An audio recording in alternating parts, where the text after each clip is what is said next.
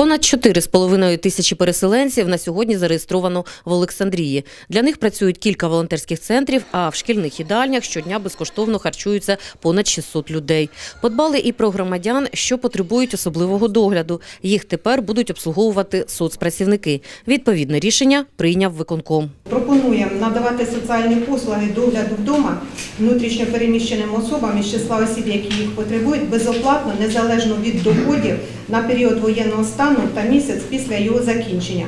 Управлінню соціального захисту населення міської ради е, приймати рішення на підставі заяви та довідки внутрішньо переміщеної особи протягом однієї доби. Рішення, яке буде давати можливість людям отримувати соціальні послуги на дому. Це ті люди, які потребують е, догляду, потребують допомоги саме на дому. Тому і для тимчасово переміщених людей з сьогоднішнього дня така послуга в Олександрії буде можливою.